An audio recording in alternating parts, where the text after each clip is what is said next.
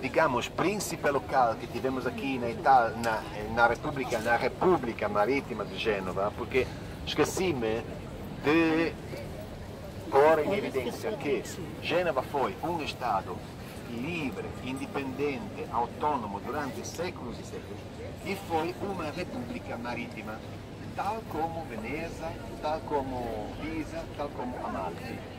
Seja, que tivemos o Doge de Gênova, o Doge de Pisa, o Doge de Amalfi, o Doge de eh, Gênova. O Doge genovês vivia, morava, com certeza, neste prédio com esta coroa tão bonita em mármore branco de Carrara em si. O primeiro Doge tinha um nome muito conhecido, Simão Boccanegra. Sabe por quê é muito conhecido? Porque...